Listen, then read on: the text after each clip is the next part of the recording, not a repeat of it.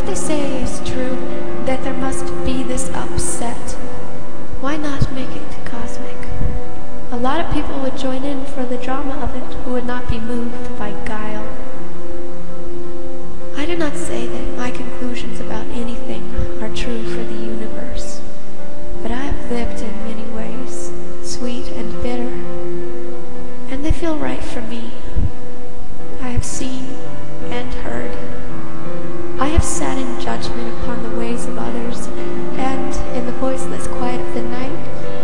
Also called myself to judgment.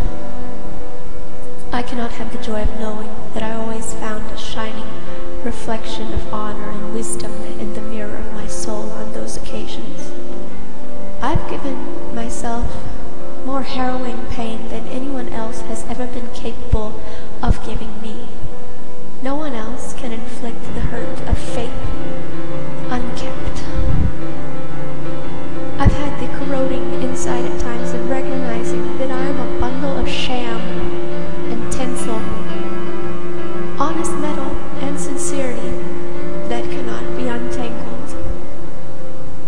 dross has given my other parts great sorrow. But on the other hand, I've given myself the pleasure of sunrises blooming out of oceans and sunsets drenching heaped up clouds. I have walked in storms with a crown of clouds about my head and the zigzag lightning playing through my fingers. The gods of the upper air have uncovered their faces to my eyes I've made friends with trees and vales. I found out that my real home is in the water, that the earth is only my stepmother. My old man, the sun, sired me out of the sea. Like all mortals, I've been shaped by the chisel in the hand of chance, bulged out here by a sense of victory shrunken there by oppressive failure and the knowledge of unworthiness.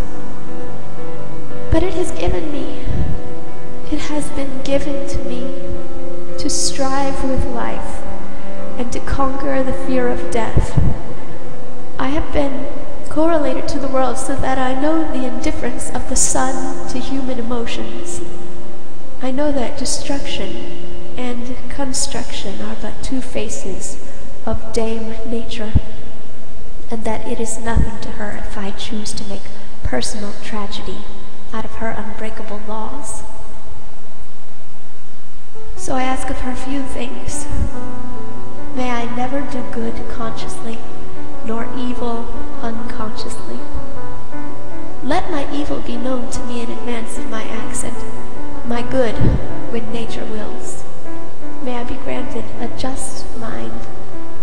and a timely death.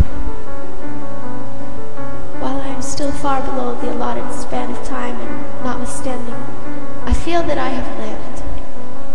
I have the joy and the pain of strong friendships. I have served and been served.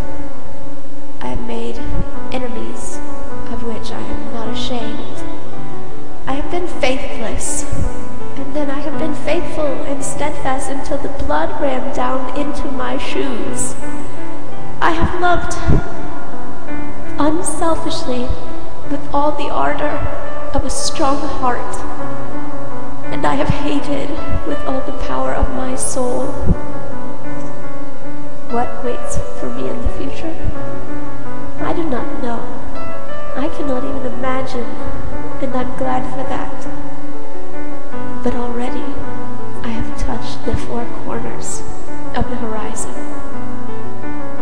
For from heart searching, it seems to me that tears and laughter, love